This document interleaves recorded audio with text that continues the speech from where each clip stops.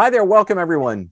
This is Inside the Musician's Mind, the first time we're doing a uh, all uh, digital Zoom episode of the show. Normally, we would be doing this in our Lapham room over at the library at uh, the Port Washington Public Library, but I decided that uh, since we've got an opportunity to talk to uh, a very fine songwriter, recording artist, and an old friend, uh, we bring it to the digital age here, go fully Zoom uh, the, the, Zoom realm for our episode of Inside the Musician's Mind.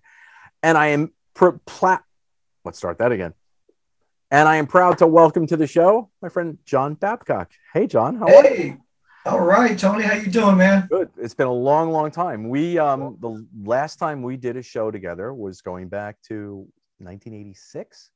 85, 85, 85? and 86. We were did two yeah, shows. The two yeah. shows. And so yeah. it's uh it's been a lot of years, and uh, I'm so delighted to be catching up to you and with you because there's been some great music, and uh, I'm happy to have been starting to play catch up with the the most recent projects, and yeah, start making my way making my way back, of course.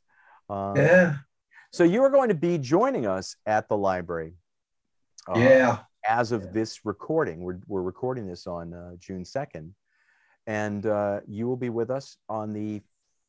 I'm trying to remember the 15th. 16th, I believe it's June 16th. Yeah. June 16th for one of our terrorist events, and you're going to be doing a a live version of what is your most recent recorded project, uh, which is very cool, and you've approached it from a very cool angle. Um, the live set is called "Paul Is All." Right.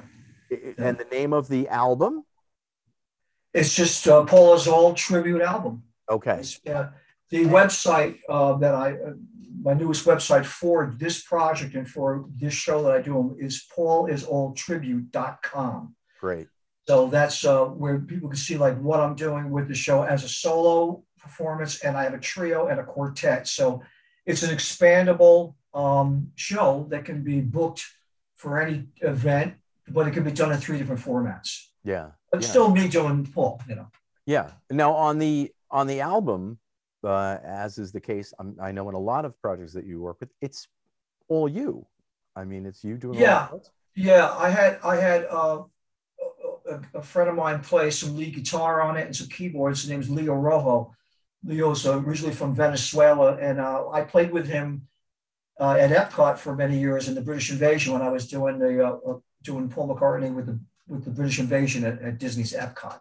Cool. So uh, we still work together, um, along with another uh, member from those days, Jimmy Pappas. And Jimmy used to be Chubby Checker's drummer back in, in the uh, before the British invasion days. Uh, and we worked together from 97 to 2000, uh, to 2008. And uh, these days we still, um, he, those guys are backing me up in this trio and quartet version of the Paul, Paul is all show. Yeah. Cool. So it's old yeah. old friends, people you work together on and off for years. Yeah. You know, I've been I've been working with them for over 25 years, you know, uh, down here in Florida. Um, but going back to what you said about this, this the um, Paul is all tribute album that I'm just releasing, I chose six six McCartney solo things that he did, you know, on his own and with Wings, and then six Beatle tracks. And so it's a 12 track album I played pretty much everything except for what Leo played on, and um, all the drums, all the bass and stuff. I got a home studio and um, the vocals, and uh, it's what happened. You know, I never said I was really going to do a tribute album to the Beatles or to Paul McCartney, but it came out of necessity, really, because um, I do these shows. I've been, I started doing the McCartney show seriously doing it him as a solo artist in 2017, 2018 and we did some big shows down in Florida, and people would come out uh, when I do the meet and greet, and uh, and I merchandise out there my own original stuff, and people would like be interested. Oh, you do your own stuff, and they'd buy some CDs, and I've got a DVD they'd buy.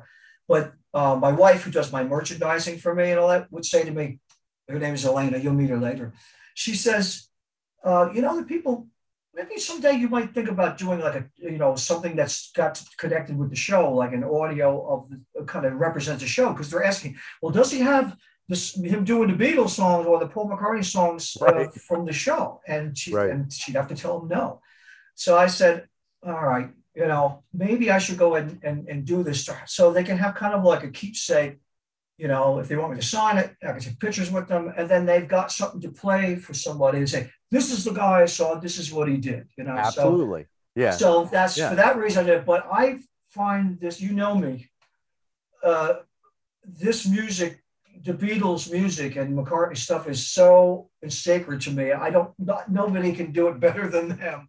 And so it's like, uh, Uh, that's why I never attempted. But for this reason, for the show, I figured, okay, it could be a soundtrack to the show. That's all. Sure, sure. That's like why the, I've done it. The tail was wagging the dog a little bit on that one, but the end result was still very, yeah. very cool. And it was yeah. fun to do. I said, oh, and I was like, okay, all of this stuff see, the whole thing is I'm basing the show off of his 40 year live thing that he's did starting with Wings up to present day.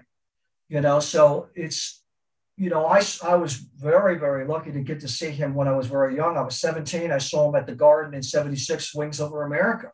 Yeah. And which was amazing. You know, I mean, I was, I, I had a scout tickets. I think the ticket, my ticket was $60, which was like a fortune in 76. Wow. Back then, yeah. that's, that's, but I had like wow. first row behind, behind the stage. I was behind him, but he was like right there, you know?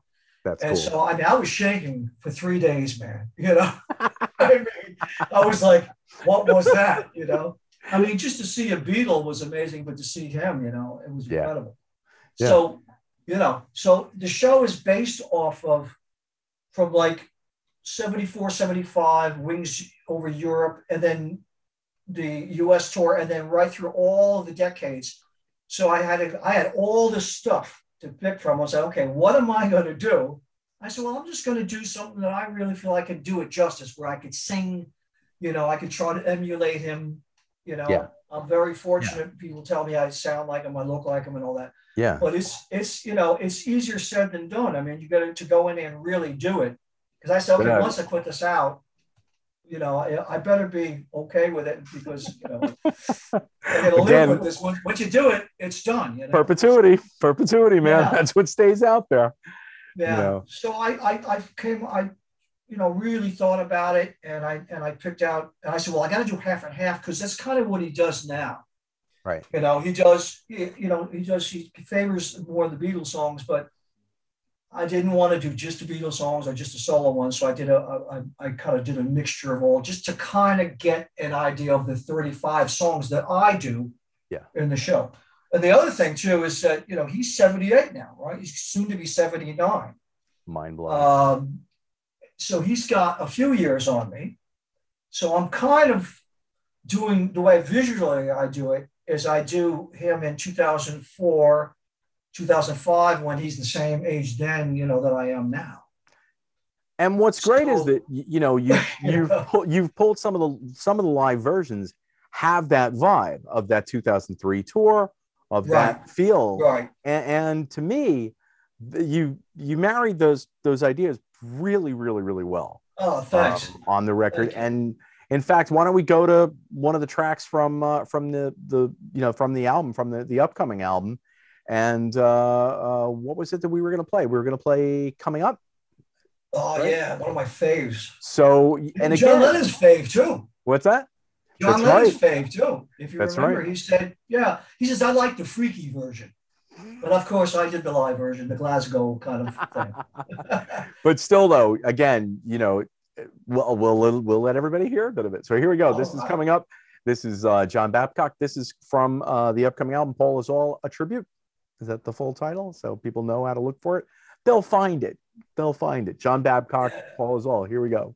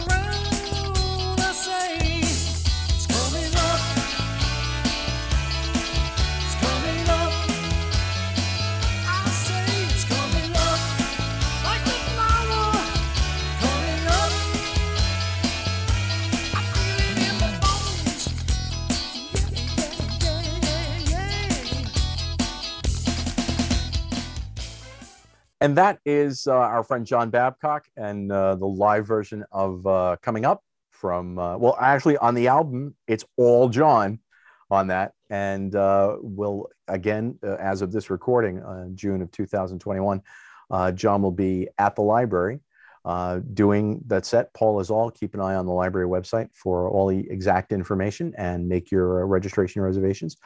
But, um, you know, you and I met many years back through the Beatles connection. I was doing a program called um, Beatle Tracks, and we we knew one another and saw one another at the Beatles conventions and all that fine stuff. Back when it was actually called Beatle Fest, they didn't yeah. have to call it the Fest for Beatle fans. Um, but um, you know, and I ask everyone this when we do an Inside the Musician's Mind: what what got you into this? What you know? How did uh, the, you know a, a three year old, a four year old, a five year old John Babcock say, music is it. This is what I want to do.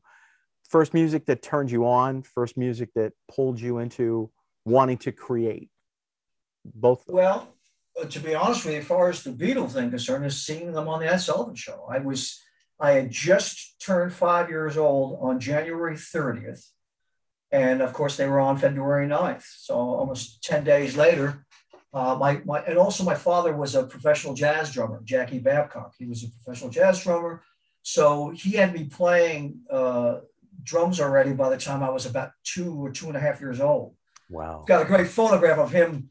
He was also a police officer at the time, too, in our, in our town of Nyack, uh, in Nyack, New York.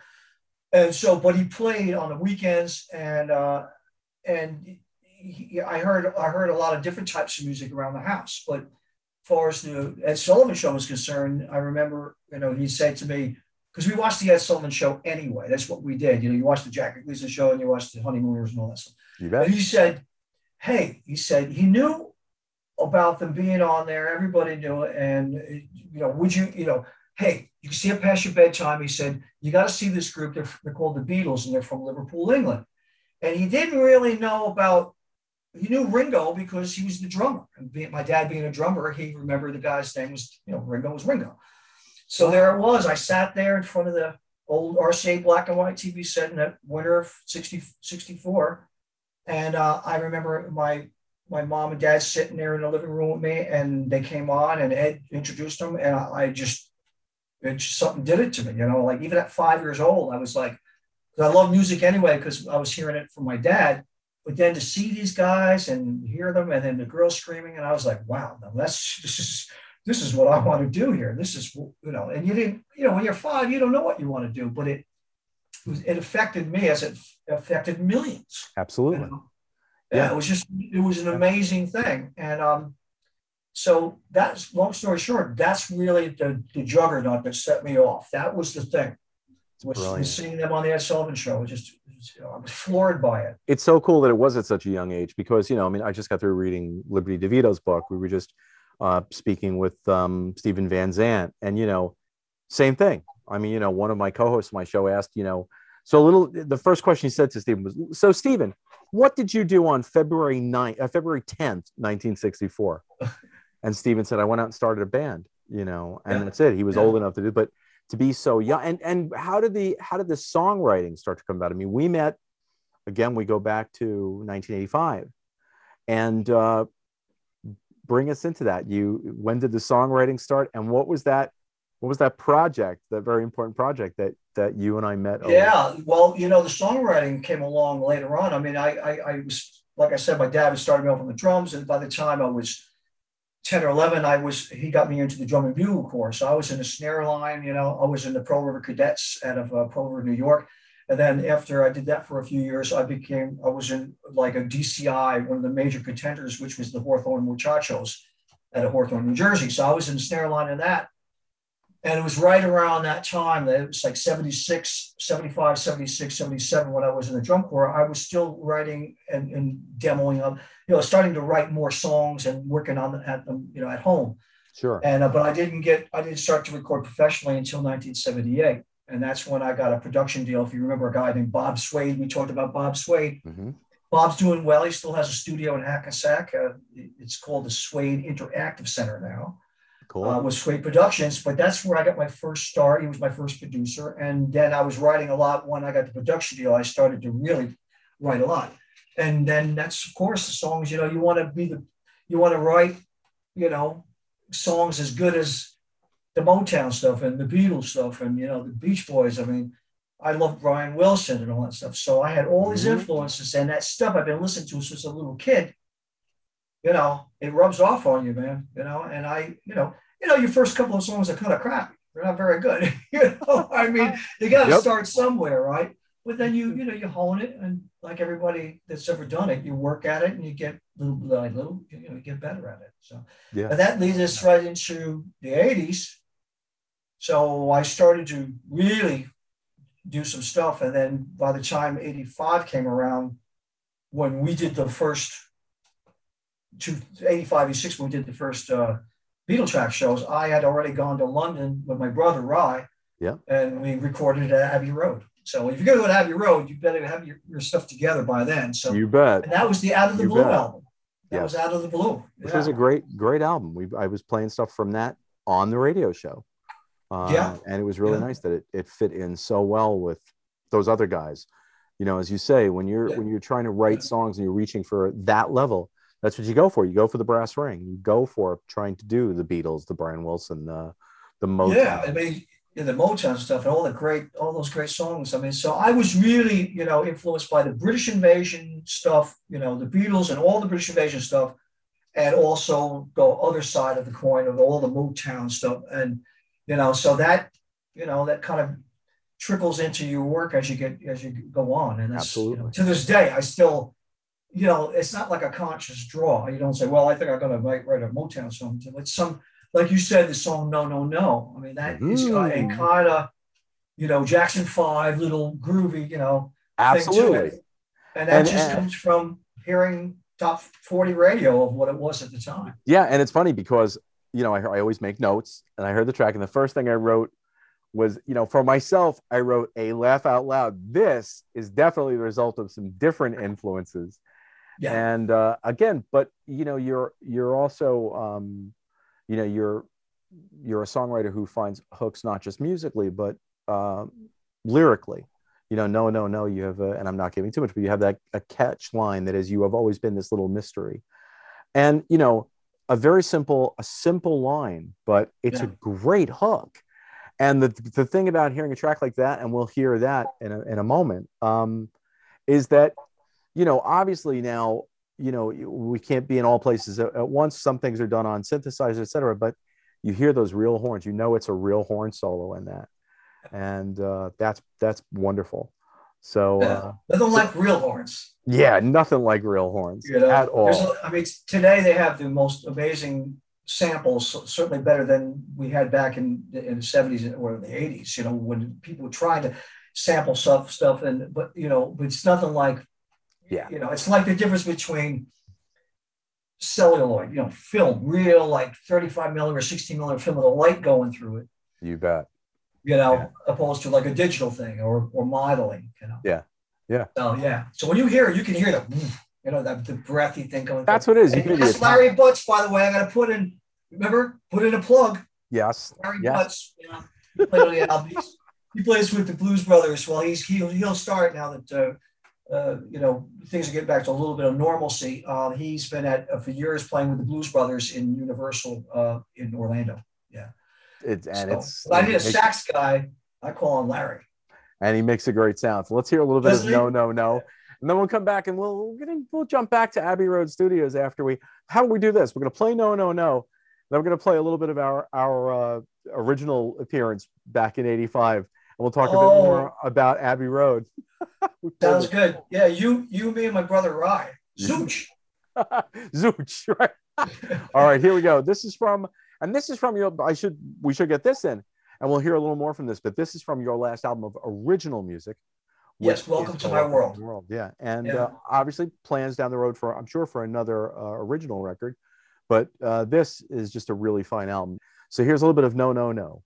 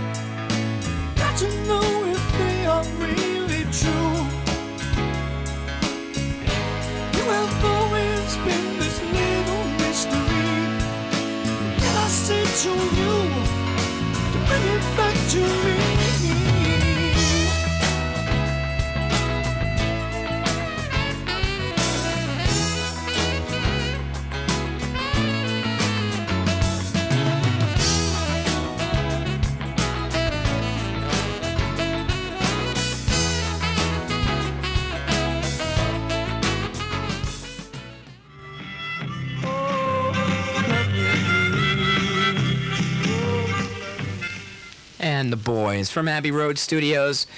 Abbey Road Studio number two, actually, the one that they've been using since the good old days of Love Me Do. Here on Beatle Tracks, that's the first part of the Abbey Road special. And this is Beatle Tracks, and JB is with us, and we're talking about Abbey Road Studios, appropriately are, enough, aren't we? which is where you just recorded. Yes, it was great. You uh, you instigated some. Uh, y- you, you, the two of you did some. He was worse than me. It was like it was like letting a, a Beatle maniac out in Pepperland. we were everywhere, checking out all nooks and crannies of the place. checking out the layout. Yeah, finding all kinds of goodies. finding what lie under the floorboards at Abbey Road, just, just taking it all in. but um, Tell them about the okay. Tell him about the lights. Okay, that's what we wanted to talk about, right? The Okay, lights. I don't mean to get off the sidetrack, but It's there's all right. so many things to tell you folks out there. well, wait, we're gonna we're gonna get to the lights in just a moment. But first, I'm- Suspense. oh, suspense. Keep 'em we're hanging. Gonna, yeah, you know, keep them hanging on because uh, they're gonna stay right with us here at WCWP 88.1 FM and Beatle Tracks. The program be here for another hour or so, bringing you the best and the rest of the music of the Beatles and talking with JB and Zooch, and uh, listening to the music from the album Out of the Blue, which uh, was recorded at partially at Abbey Road, partially at uh, uh, at Swade Communication Center. It's like looking at baby photos. Listening to that. Very All much right. so. So, 35, six years later, whatever it is, what was going on with the lights? The Abbey lights. Road. Yeah, you know, it was amazing because, um, you know, we had we had a run in the studio over there. you know, we were there for three days, and at that time, it was in April of '85. There wasn't really that many other artists there. You know, it was like people that worked there, and me, my brother, and, and Bob Swade, uh, my uh, co-producer at the time. And it was so strange. And my brother was looking at, you know, was checking different rooms out and all that. And I think it was it was on like the second day we were there, and he you know, said, "Hey, I found these lights in um, in one of the closets over there." He said, "You know, and these these lights, and they're on like a stand." I said, "Let me see." And I went and looked at it, and I said, "I think I know what these are." And he's and he and you know, I said, "These, I think these are the the lights that George Harrison asked." Uh, EMI to bring in to get some atmosphere when they were working on Sergeant Pepper. You bet. So I asked one of the engineers, and you know, we said, I said, hey, what's those lights down? There's two of them, and there was two of them on these stands. And uh, I said, are those are those old lights from the '60s? He goes, oh yeah, that's the ones the Beatles used to use. I was like, oh, are you kidding me? And I said, I said, do they still work? He says, yeah, I think so. He said, they, he said, you can pull them out and set them up if you want. And so my brother was like, oh my God, this is incredible. How could you So not? we pulled them out and plugged them in, and they were all dusty. We dusted them off, and we set them up in Studio Two. Wow. Uh, and we we were video. My, we bought a videotape and We had a you know we had an early you know 1985 86 uh, video camera. So we taped about five hours of stuff during. I never knew I was going to go back there. You know, seven times. You know, Sure. between 85 and 95. I went back all these times. So we thought, well, this is it. You know, we had a one shot. Yeah, my brother, my brother was there to help me. You know, I was doing the music and all that. And he was helping with uh, documenting everything. Okay. So we got he had a nice Nikon 35 millimeter, took a lot of stills, and then we set the lights up. And so we actually got to use during the sessions the lights that George brought in, and um, That's it It was amazing. They all worked. All that they were just those neon painted red bulbs that were on uh, on these stands. So that's the story of the lights. Like you said, letting letting a Beatle maniac loose in Pepperland. That's a That's perfect exactly what it analogy. was. That's a blast.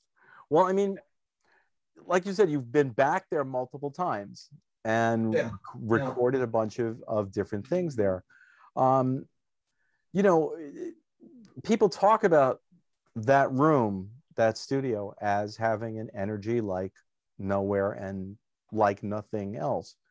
Um, I imagine that it's not, you know, yes, it's the fact that the Beatles are your, are your favorite band, the Beatles, you know, recorded there, et cetera but there's got to be there's something else i guess that just that draws you back to that room and is it is it the energy the sound all of the above what what brings you back It's- to that as a you know, it's really hard to put in words. And I've been trying, I've been thinking about, you know, that an answer to that question for since I first did it in 85. Yeah. I, I know of other artists that work there, um, and we all agree it does have a certain ambiance. And, a, a- well, first of all, the studio is amazing anyway. That's why they haven't changed any of the acoustics. The acoustics are exactly as they were in the 50s. Um, and and there is when you there's such reverence for the for, for the room because of all not only just the Beatles stuff was done here, but all of the other artists. I mean, Glenn Miller recorded the last Mhm. recording that he did before he went down in the English Channel. That was done in. Yale. Yeah, Uh, you know, uh, I don't remember what the song was, but the last couple of recordings that were released after he died were done at Studio Two at Abbey Road. You know, wow um, Sting recorded there. Everybody, uh, you know, Ella Fitzgerald did her version of "Can't Buy Me Love" there in '64. I mean, so that room uh, is just it's got the the most hit records ever came out of it, uh, and most diversified uh, recording history. Yeah. So when you go there and you're doing your own thing in there, you know, something that you did, you know, you know, it, it- it's just it's incredibly humbling, actually. you know, I mean, i would imagine it really brings you down. It really levels you up and says, you know, I might think this is a great song, but you got to remember who came before you, yeah yeah you know, and that's big shoes for any artist to come in there and do, no matter how good you are and what you do. When you look at that, what that what was done in that room, yeah, it humbles you up real quick. it I, I mean i'm sure it humbles you but it also i'm sure again back to that brass ring idea man if you're going to have a goal and have something to hit for and shoot for it's that Yeah. goal to to want to live up to the room really Yeah, which- yeah. which, It- must be a wonderful vibe yeah it was it, it was it was just so amazing um you know and then i you know as, as you probably might remember me talking about on the old show was that i got to use their, their actual microphones. Yeah. that was another amazing thing was and i requested that you know i there was about a dozen microphones that we use for vocal mics for mi- miking amps and the drums and ringo's drums and all that. And they have them all marked and they had them in there and it was uh, through one of the engineers that i requested it the first time i went over. Could i use one of the mics that that, that john george or paul or even ringo could have used and uh, they they gave me that that that dream made that dream come true. And i used that on out of the blue. And every time i went back i'd use something else that they used. So that was really cool. I'm sure in a way for the engineers that were there when you first went and all the years, the following years when you went back, I'm sure for the engineers it's beautiful to have, you know, that first time you went in, you were how old when you went into Abbey Road for the first time? 26 Yeah, i was so you- 26 yeah. Here you are, you're somebody in your 20s, you're, you know, uh, you know, you're at work and at, and at the height of your, you know, not the height, I mean, you know, your creativity grows and changes as you go, but you're, you're at a, a mid 20s, you're eager, you're, it's your hot period you know you're hot. Yeah. Well, it's, you know, Yeah, yeah, you know. you know what I mean? Your energy. you're hungry yeah You're hungry. That's, that's really where I'm going. And these guys must appreciate that and they must feel that too. So for them to be able to share that room with you, to share that energy with you, that's really cool on their end too, I'm sure. Yeah. You know. Um and you went back how many times for for different records? Yeah, I did see 85, 86. My brother went on both of those occasions. And then I went back on my own. I, let's see, 91, 93. No, 88, 91, 93, and 95 was the last time I was there. Any thought about ever going back again? Oh, you're kidding in a second. Okay. In a second. maybe on the maybe on the next John Babcock Originals album. You never know. Oh, man. I love it. You know, um, we talked a little bit about influences, and uh, b- before I play the title track to the last uh, the last studio album, I want to play a little bit of a, a ballad uh, called "Late Hours," and Ah. uh, yeah, just what a fine track and influence I'm hearing there. Uh, I'm hearing a lot a lot of Graham Nash in that. really, that's Um, nice. I like Graham. Yeah, and and there's definitely some Graham in there, and that again, finding those lines, and uh, uh, it, it made me do one of those, and you hear it the first time, but line in the song, "I never met anyone like you before, except me," and again, great line, uh, great, Well, yeah, you know why? Because I had a great influence. I wrote that for my wife. beautiful, beautiful. Yeah, when we were when we were dating, uh, that's exactly I said that to her, and she said, "Wow, that's you know." It's a very mean. And I didn't want to line. forget the line. I go, it's like you know, it was like it was like oh, that could be a song. I thought, you know, I mean, it was a Excuse me for a minute heartfelt while I- sentiment. Heartfelt sentiment. Could you excuse me for a minute while I write this Yeah, down? hold on for a second. I gotta go write this down. no, you don't forget. it was a very it was a very great moment and um, you know uh, it's a beautiful song that i wrote, wrote about my the love of my life So, brilliant, brilliant. Yes. Well, let's. Let's hear a little bit of and and uh, you know it's uh, what I like about this a love song that is spoken plainly and it's one thing I equate it to with with you know with McCartney who we were talking about some of Paul's ballads short sweet perfect you know he do something he can do something in two and a half minutes and say something and you know so let's hear let's hear late hours from uh, Welcome to My World.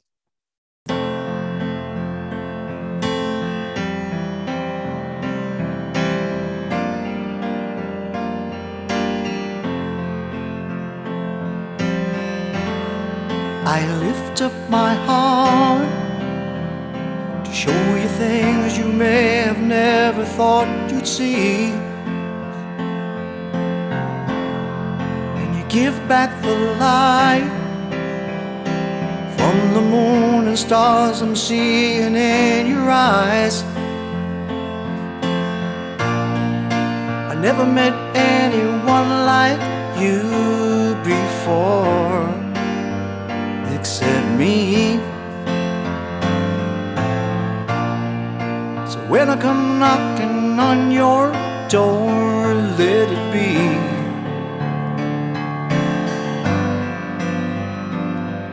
Cause I never met anyone like you before.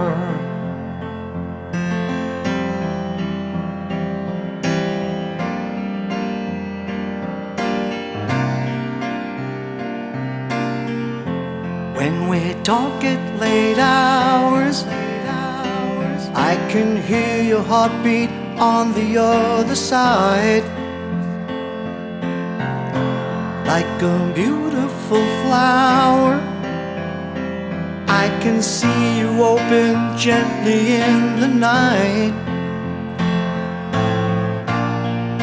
I never met anyone like you before except me. And if you find you need me more, let it be.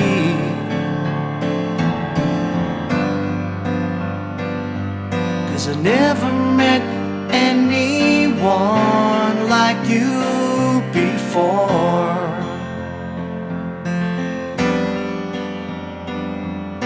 I never met one like you before.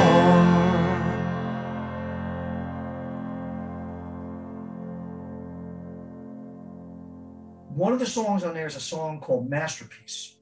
Now, I didn't write that one, it, it, but it's it was written by a woman named Leslie Pearl. Now, okay. she sang background vocals on one of my first sessions, on two songs on one of my first sessions back in 79. Wow. And um, she's the one that wrote the Folgers commercial. The best part of waking up is Folgers in your cup. Oh goodness. She was one of the most in demand, and still is one of the most in demand um, jingle singers in New York City. Wow. Her, her sister Debbie is a is a film producer, uh, and she just did a couple of years, like two years ago, three years ago, she did a film with Ed Asner out in Hollywood. And I found Leslie. I've been I haven't talked. 2018, I got in touch with her through Debbie through Facebook. Because Oh, Leslie didn't have, wasn't on there. So, but Debbie was. I said, "You are you Leslie Pearl's sister, Debbie?" And she said, "Yes." And so "I'm trying to get in touch with her. I want to record one of her songs, and I want to say hello." She she worked on my first album in '79, and so she gave me her email address, and and then I gave Leslie my my number uh, here in Florida, and she called me.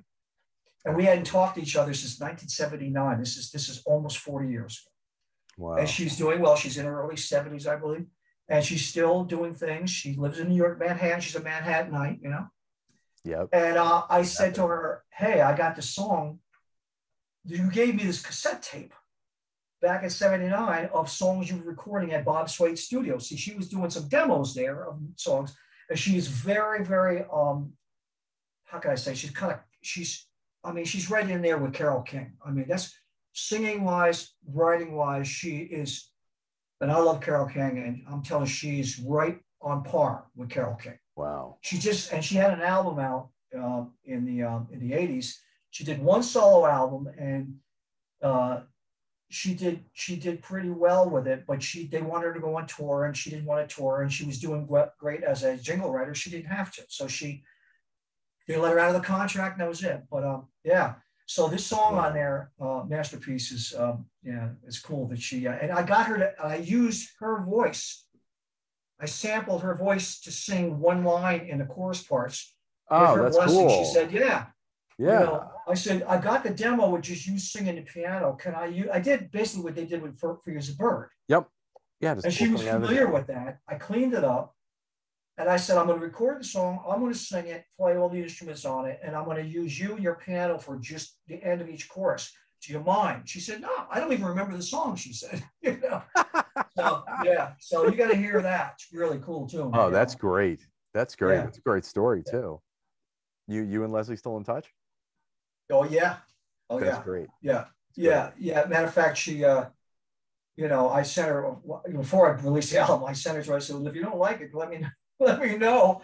You know, before I release it. She, she said, oh, she said, oh, John, I love what you did with it. You know, you sound great, and you know, thanks for you know wanting to do it. You know, and I said, and she and she said, if I can get this, if I can get this into the commercial, I will. There you You know, go. That's So a that's beautiful still, That's still, you know, that still could could happen. You know, it's been a couple of years, but you know. Yeah, that's a beautiful know, thing. Yeah, and matter of fact, she's going to be on. She's again appearing on my next album because um, I re-recorded a song called "Love Hurts" that I did. That's one of the ones she sang the background vocals on, Okay. and I had. I want. I said, you know what? I want to go and re-sing this now, and I had. I had the track with the background vocals and her and all the instruments, uh, like an instrumental version of it that I mixed at the time. Okay. I cleaned, I cleaned it up and I re-sang to to it now, like with uh, now last year during the Yeah. lockdown. Yeah. So it's it's me at 20 years old playing the instruments and singing the background vocals with her, but it's me now, 40 years later singing it, and I was like, I I, I was able to do it in the same key, That's cool. really, yeah, I was like. That's I cool. wonder if I'm going to have to lower this thing and then bring it back up, and that's how I'll start sounding like a chipmunk. But I was, Oh, I was fun. really- yeah, it was fun to do, and it, and it came out really good. So she's going to appear on the next album called "Sky's the Limit." That's the name, the name of the new album. Nice. Nice. It's 20 tracks and it's got some live stuff on it. It's pretty cool, and Well, a bunch of new songs. well, you've also set me up now. We'll uh, we'll come back and uh, I just want to I'll talk to you a little bit about uh, um, I guess the, the method, uh, and then maybe we'll um, you know, we'll talk a little bit more about the Paul is All project. But um, uh, let's listen to the title song from the most recent studio album. I mean, very sweet, very sweet song. And uh, I like that there's, you know, talk about the Paul influence, a little Georgish guitar solo, some Beach Boys backing vocals in there Yeah, yeah. and uh, again uh, a great a great vibe which is uh, and, and positive uh, i like the fact that um, a lot of the music that you write is very positive and that's uh, that's very cool so uh, let's hear some of welcome to my world. This is the title song from the most recent studio album but uh, again another one we've just found out is going to be on the way. So here we go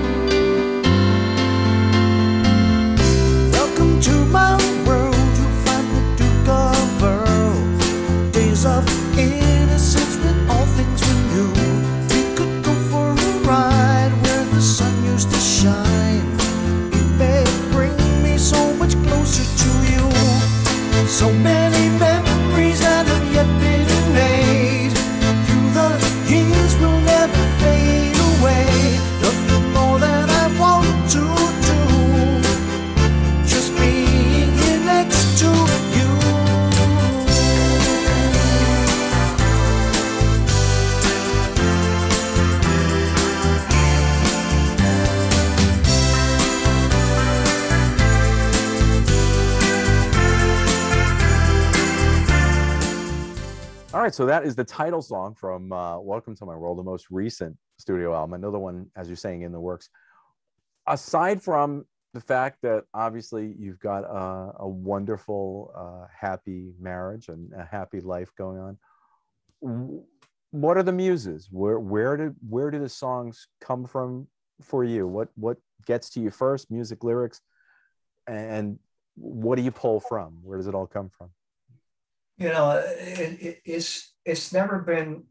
I'm not the type of artist or writer, you know, to just dream up songs or you know I'm constantly writing down lyrics or, or oh, that would be a great idea for a song. It doesn't work that way. For me, it's about sitting down at, with an instrument. you know? Okay. Yeah, and I've heard McCartney actually talk about this because they asked him the same thing. They asked him, "Well, how do you get these songs?" And he goes, "I don't know. It just comes to you." You know, it's a gift. You know, and I I couldn't agree more. That's Hmm. ever since I started writing when I was like 15 years old. Um, yeah, you get influenced by maybe you know relationships and and maybe current events or things like that. But for me, it's like picking up the guitar or picking up the piano because I play both instruments. The songs tend to come out different a little different. If I play guitar, sometimes they're a little bit more up and a little bit more heavier, and then the piano tends to be a little bit more middle of the road or more ballady. So, but mm. it's just I just sit down and just kind of doodle around, and then you know you come up with a little melody or something, and then I, I'll, I'll come up with a line, you know, a couple of lyrics, whatever comes to mind, and then start writing it out. And before you know it, you know, if you're lucky, you got a song in an hour, and that's just how it happens. So it's not necessarily lyrics first, music first. It all sort of just comes no, together. No. Very rarely have I ever written uh, written uh, the had a bunch of lyrics written down and words or or uh, and then put music to it. It doesn't it doesn't work that way. Yeah. It comes at the same time.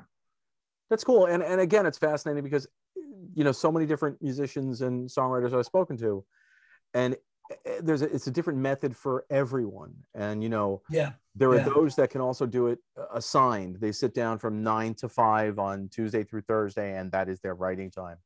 yeah, And I just I could never imagine being able to do that. Um, yeah. but it's cool to hear for you that it, it's it all comes together at once. You usually hear that it's one or the other uh, that'll hit first. So that's that's kind of cool. Um, you know, we're we're talking about Paul is All, which is the the current record that's coming out of McCartney and Beatle covers. Yeah. Um, and I know that you you've never had the pleasure of working with Paul. You've done, as you said, you've done uh, Paul in you know and and At- at Epcot. at Yeah, Epcot. at Epcot. yeah, I did it for years. But you did actually get to meet the man at one point. Yeah, How did yeah that? that was that was like whoa, really? I thought you were an album cover, man. Well, it's like John You Lennon said when he met Chuck Berry. It talks. Yeah, it actually speaks, and it's a real person there standing there that would have, you know. No, it was it was a bizarre thing, Uh, and you know. Uh, I, I know that I remember in one of John Lennon's last interviews, he said, and I got to bring this up before I tell you the story about meeting Paul. You see, he said, never aspire to meet your, your heroes. And I know what he means because he because his whole point was you're going to be let down or you're going to be disappointed. You know, uh, I can say how that could happen. I met a lot of famous people in my travels, and um, but this one was not a disappointment. Uh, he was gracious, humble guy. Um, he was more interested in knowing what I was doing than uh, you know than what he was doing with George Martin at the time. Um, the way it worked was I was working. It was the last session I was doing at Abbey Road. Uh, uh, that was 26 years ago. It was July 20th, 1995, and I booked the studio um, weeks in advance. I went over for two weeks actually to to promote um, uh, uh, some other stuff I was doing over there, um, and do some radio things. And uh, I I met him in the in the bar, the restaurant bar at Abbey Road, where all the artists are and where the people work. You know? And it was in the afternoon, and I didn't I didn't even know he was there, and I didn't know uh, he was there with George Martin working on the Beatles anthology. That's what he was doing. Oh, okay. Yeah, because the anthology, if you remember, came out in November of '95, but it was on the five-part series on uh, ABC. whatever it was, national television over in the Yeah. U.S. Yeah, and then later on, of course, it came out on the D, on video and DVD. But um, he, I, I was sitting at the, at the bar having a Guinness, as you do when you go to Abbey Road Of course. they have great, great Guinness there and great bitters. and so I'm sitting there. It's like two in the afternoon, and uh, I, I, I had dropped, just dropped off the tapes. I had only been in uh, in in England for a couple of days, and I had the the, the uh, 16 track masters for the song I was working on uh, in my hotel room. I was like, you know. I don't know if anybody's going to try to steal them, but if I did lose them, I'd be in trouble. I would have no session. So I brought them to put them in the tape library at Abbey Road.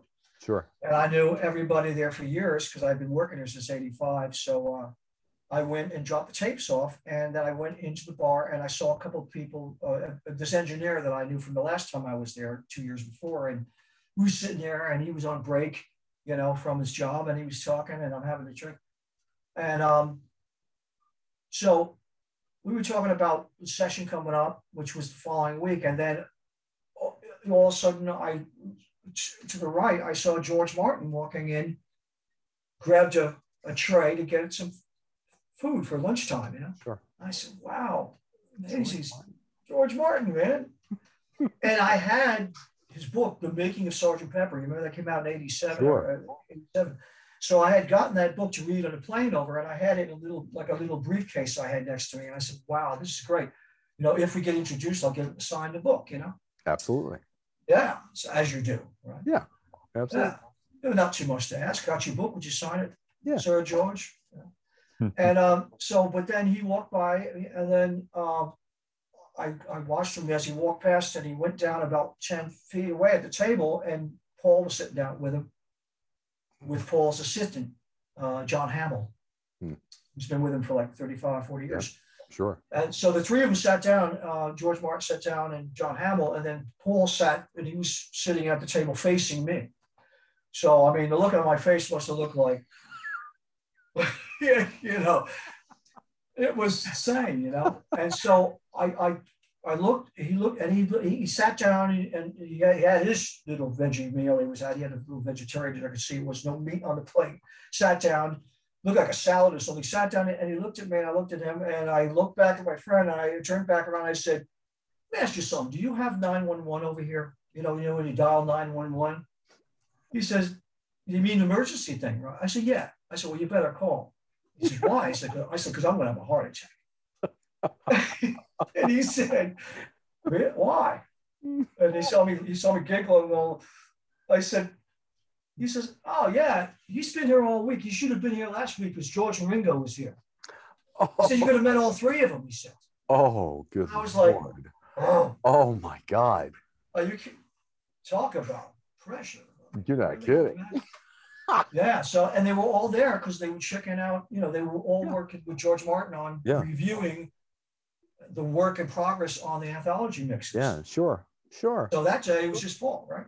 So, so he says, "Listen, man," he says, "I gotta, I gotta go do something." He says, "Watch my beer," you know. they can drink over at Abbey Road when they work. It's very loose. It's not like being in America. Oh, absolutely. It's much, you Oh, know, yeah. they drink, they drink, they they just have a little something, you know. It's just part of their culture. Mm-hmm. And so he went away, and then I'm sitting there and I'm going, wow, this he's right over there, you know. But look, Tony, you know, we, we're in the business, right? Yeah. Here I am. Yeah. I'm there recording, you know, my own, you know, as a as an artist on my on my own, and I know that this man signs autographs, you know, coming in to the office, going to the studio, whatever, and I was not going to go bother him. The man's eating. Sure. I showed that respect to him, and I, I said, well, I can't go over there. I'm not going to do it. And I'm thinking, hmm, well, I sure would like to meet this guy. I mean, he's right there. It's never good. This is never going to happen again. And I've been watching him since '64.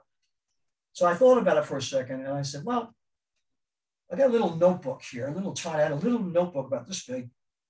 And I took a pen and I, I put it to a white page, and I took the pen and I laid it, and I put it on my lap like this sat it on my lap.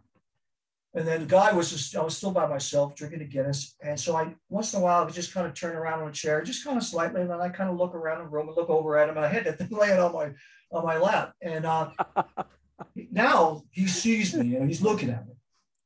People said, do you think he recognized you kind of look like him? I said, well, the look on his face told me he, he knew something was up because he was looking at me. And he's, he, he's looking at me. His eyes are going back and forth. He's looking at me.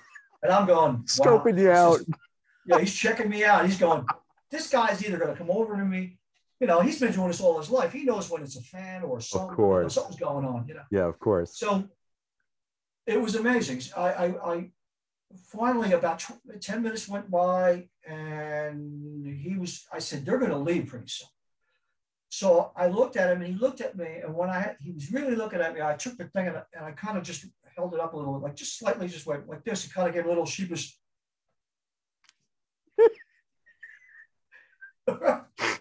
What do you think? And he looks at me and he goes, Katie? he looks at me and goes, There you go. with that pole look. Yeah. There you like, go.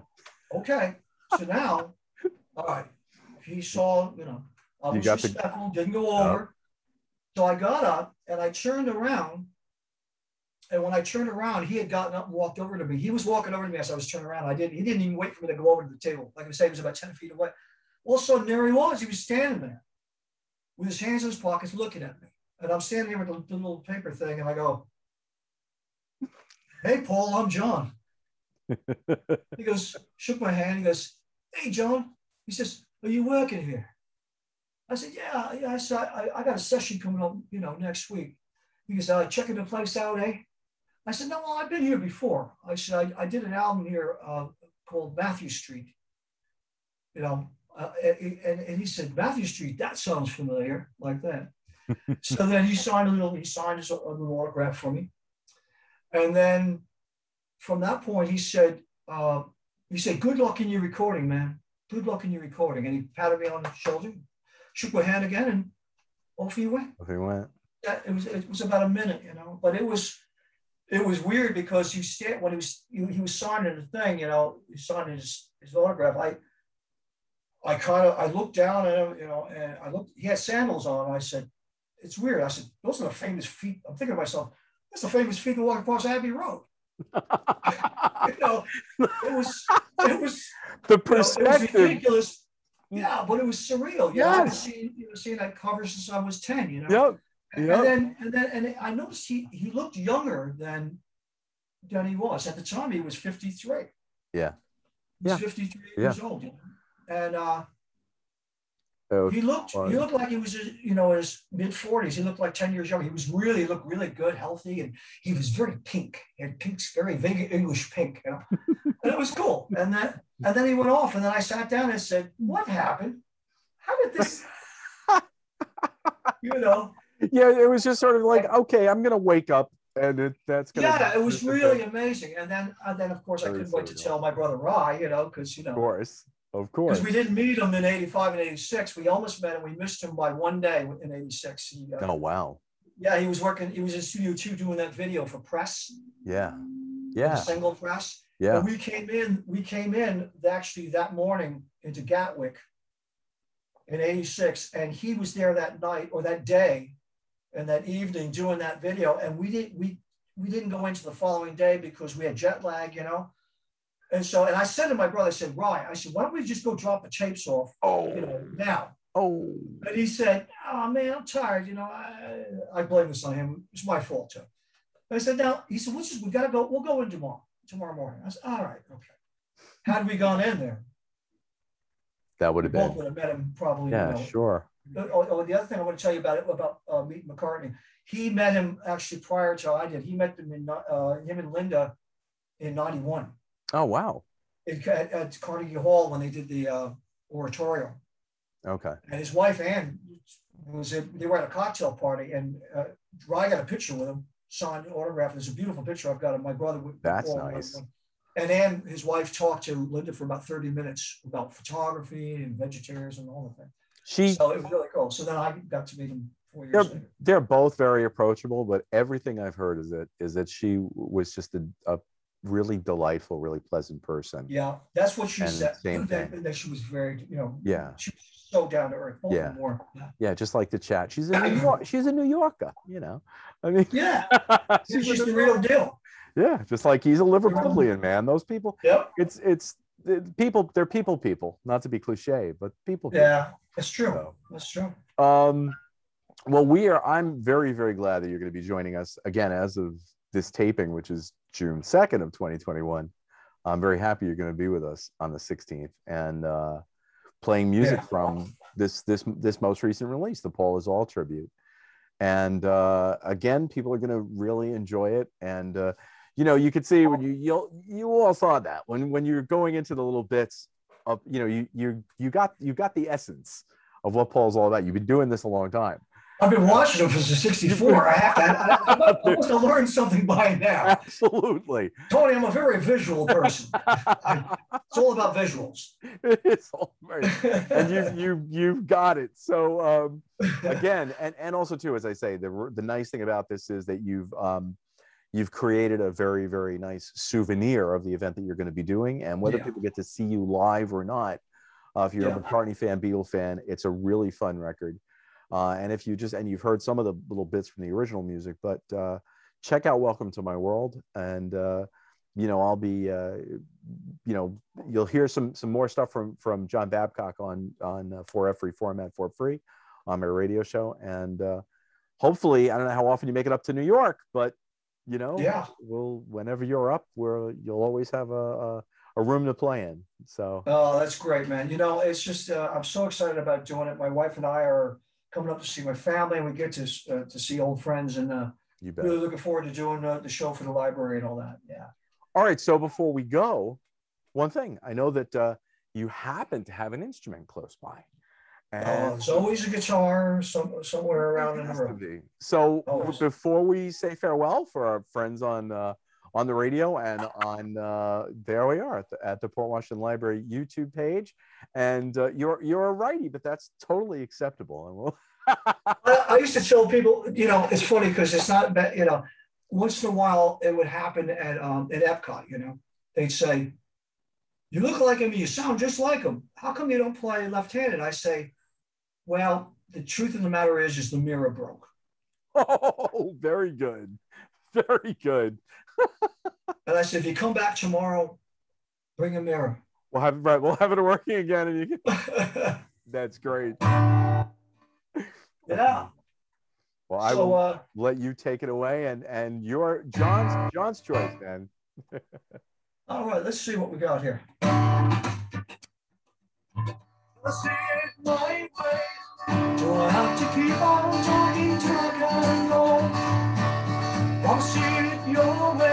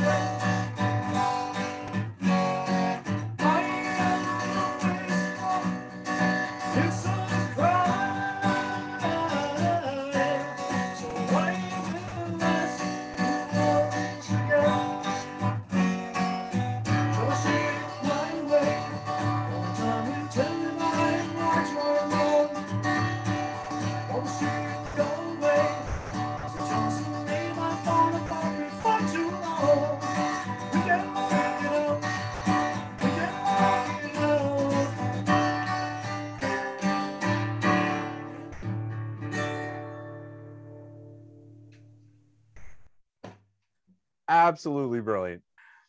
That was great fun. Um, and an indicator of what people are going to get to see.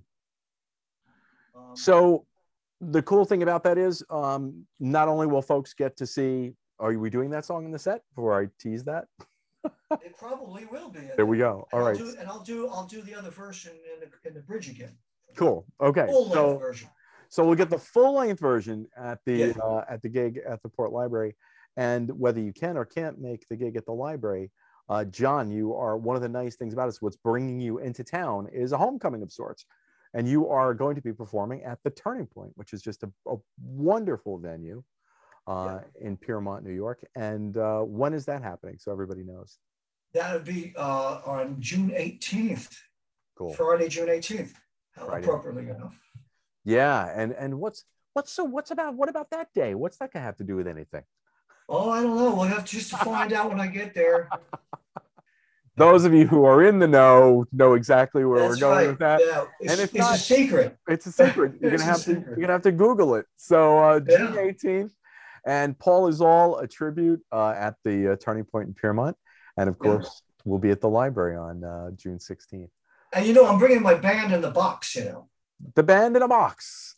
And yeah, band in the box because yeah, I couldn't get I couldn't get them to uh to fly up with me. Oh, uh, the trio or the quartet, but it's going to be me doing Paul Is All with my band in the box. And the band in the box is yours truly playing the instruments. cool. So it, it truly is a one man Paul Yeah. McCartney tribute. So One man. that's good. Yeah. So it's not just acoustic guitar. You're gonna you're gonna rock out. We're gonna rock out. We're gonna have a great time. Excellent. Yeah. Excellent. Yeah. So, all right. So, uh, again, thanks so much for doing this. And uh, we're doing a uh, Inside the Musician's Mind for the Port Washington Public Library. And uh, thank you, John, for uh, for taking Oh, part yes. And My uh, pleasure, man. and again, look for um, Welcome to My World. Look for Paul is all. And I want to thank you all for tuning in. And uh, hopefully, another episode to come soon. John Babcock, my guest. I'm Tony Traguardo for the Port Washington Public Library. Hope to see you all soon.